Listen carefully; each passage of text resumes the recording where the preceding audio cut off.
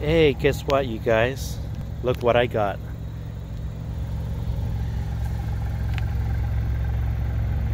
I just got this, the 2020 Camry XSE. Got the four cylinder. And I just got it today after a, after a long time of waiting, really. You know, I was sad to get rid of my 2018 Camry and I wasn't too happy um, with the with the Lexus LS 460 and you know it was a really big mistake to get that. And so um, after a couple years of having the uh, the Lexus well I had it for a year actually. Got rid of it after a year and you know it just wasn't that good. And I'm happy to get back into a Camry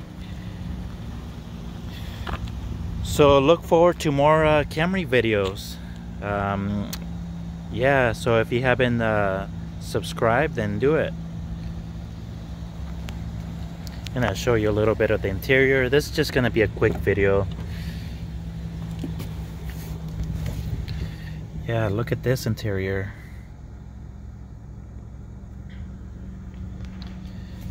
And I got it fully loaded yeah you see that? Got the heads-up display. Got the built-in navigation. The JBL yep the heated and cool seats. Got everything on this baby. So yeah. Anyway hope you guys enjoy this short video and I hope to see you guys soon